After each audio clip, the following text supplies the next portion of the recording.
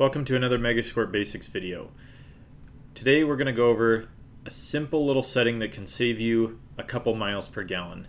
Now up on the top left here you go to fuel settings and down to overrun fuel cut. So you might ask what is overrun fuel cut?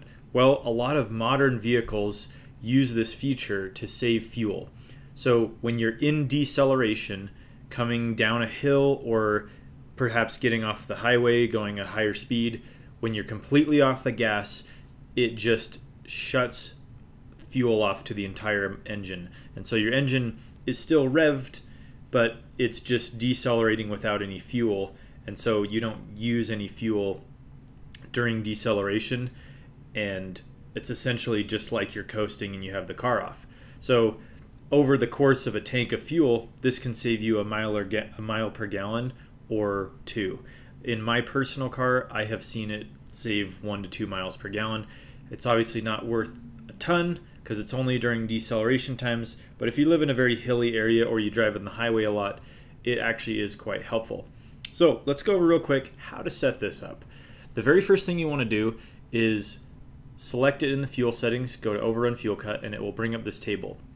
We need to activate it by clicking on this drop down and just turning it on. At this point, it will be filled with defaults, and we're going to go over these defaults a little bit more. Um, let me just spread them out just a bit to make it a little easier.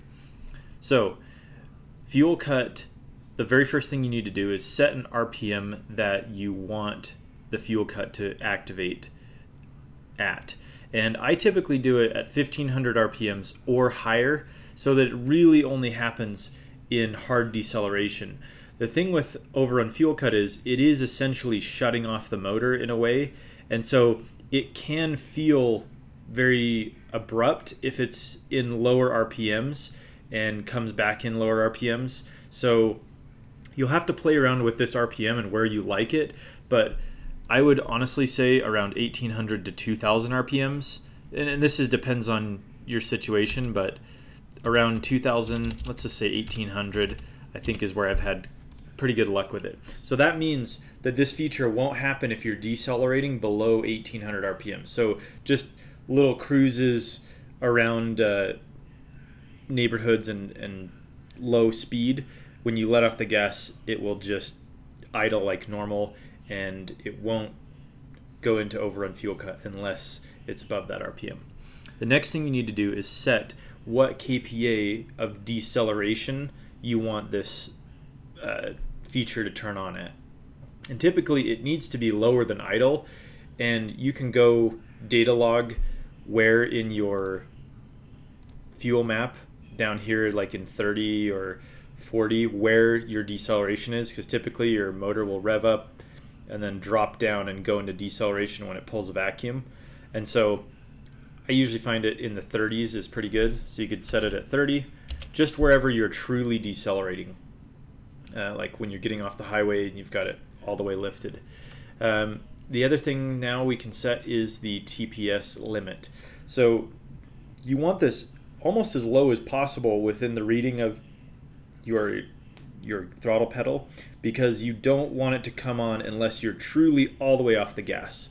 Even if you're slightly on the gas, like 10%, and you're just pulling back slowly off the throttle, you will notice this kick on if it's if this is too high.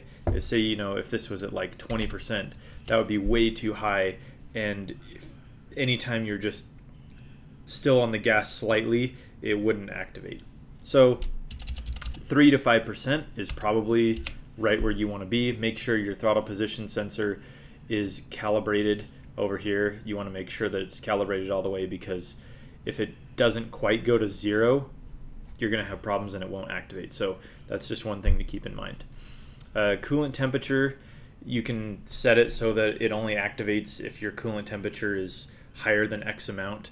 Uh, this is something you can just play around with. Honestly, it doesn't matter too much. If you set this really low, then it would it would fuel cut it basically anytime you uh, are driving around on lower temperatures. Uh, doesn't make a huge difference, but a lot of the times they leave it at a higher, like 160 degrees or something like that, higher uh, temperature so that your motor can get up to operating temperature and be burning fuel until that point just to help it warm up. And typically also I like to keep it a little bit higher right around where my operating temperature starts. Uh, this is in Fahrenheit. Sorry for all those that are in centigrade.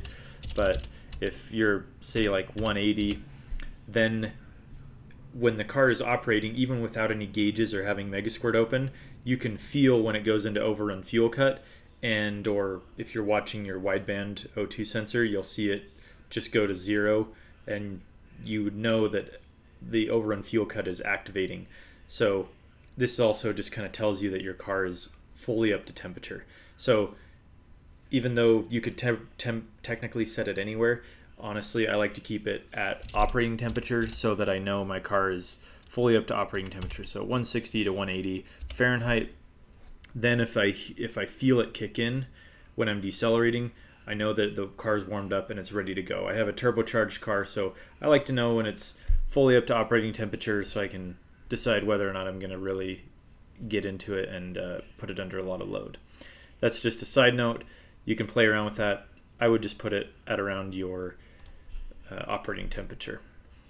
Now, after delay in seconds, this is how long uh, how long after you let off the throttle and it has reached all of these parameters 1800 rpms it's in deceleration at 30 kPa or lower and the the throttle position sensor is lower than 3%, and your coolant temperature is over 160 degrees Fahrenheit.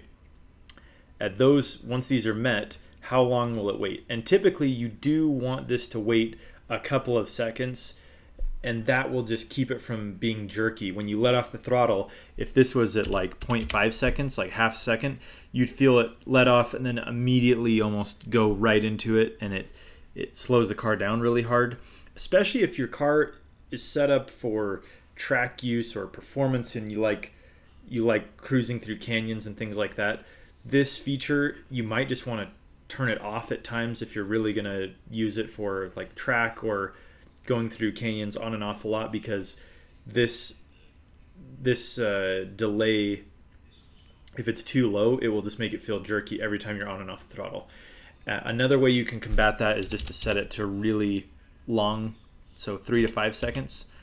Uh, if you set it for five seconds, that would be really long. That would mean if you're going down like a really big hill and you let off, it would wait five seconds while these parameters are met before it goes into overrun fuel cut. So if you do like to go on and off the throttle a lot, ripping through corners and and or and or track use, just set this to a higher number, maybe three to five seconds. I have mine, I think, at three seconds, and it, it feels pretty normal, but five would probably be better if you're really using your car performance. And that's just my experience with it. I'm sure you might have your own experience, but you can play around with this. That's what's nice about it. You don't have to just take my word for it.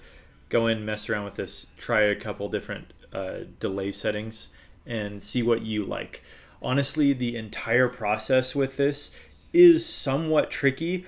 And if you don't have it set up right for your particular combination, your engine, the weight of your vehicle, all that stuff takes into account how it decelerates and how hard it's going to feel when you go into overrun fuel cut because it does kind of feel like you're hitting the brakes or shutting off the car. It's it's a different feeling than you're used to if you're just if you've just driven a uh, a typical Megasquirt installation without this running. So go drive it around, get a feel for it.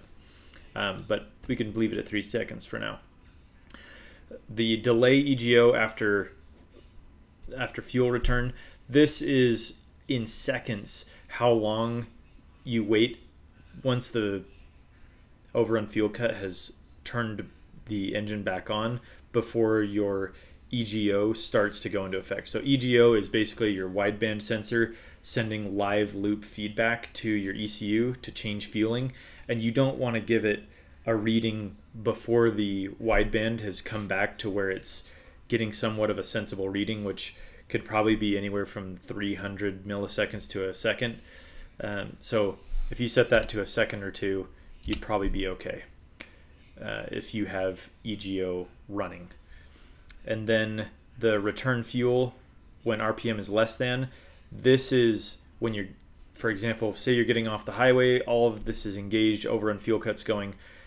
What RPM, if you don't change your throttle position or change any of these other parameters, will it kick back on and go back to where it's just running the engine? And typically you just set this a, a few hundred RPMs below your greater to greater than RPM. So in this case, if you have it at 1800, you could probably set it at around 1400 and give that a try.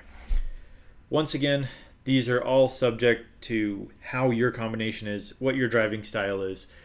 This feature is actually slightly tricky to set up, and that's why I wanted to make a video around it.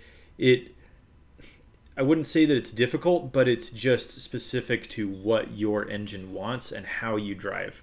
And really, you can just shut it off and not use it at all if you don't like it. It just is really just there to save fuel. The other thing I would say is if you have a really high performance, like turbocharged engine, you know, making any decent amount of power, you also might not want this just uh, as a safety. It, it, you know, maybe you're making hundreds and hundreds of horsepower, 700 horsepower on boost, and you come off and you decelerate you probably want extra fuel in there just to help cool things down as you're decelerating. So consider not running this unless you really want to, or changing the parameters to where the delay is a lot longer so that you can keep fuel in the motor on a deceleration if you have a really high performance engine. So this is just there for those that want to get extra fuel economy, want to set it up and try it. Uh, I have found that there are different ways to get around it. Another way you can do this if you have a turbocharged performance engine and you still want to be able to decelerate with some fuel is just keep your foot on the throttle slightly and that will keep this from triggering or you can just set your TPS lower than limit um, uh, a little bit higher so that uh, you can keep your foot on the throttle and uh, it'll keep it activated. So feel free to mess around with these settings. Uh, in my experience, you really can't hurt anything. You're just going to find out what you like and try to make one change at a time when you go back and burn it and save it so that you know what has changed and what settings will affect what when you go to do it. So thanks for watching. I hope this helps you save a little bit of fuel in these times where gas is approaching uh, $5 a gallon or more. So Hopefully this can help someone save a little bit of fuel. And if you like these videos, please consider joining my channel as a member and or subscribing for more content. Thanks again.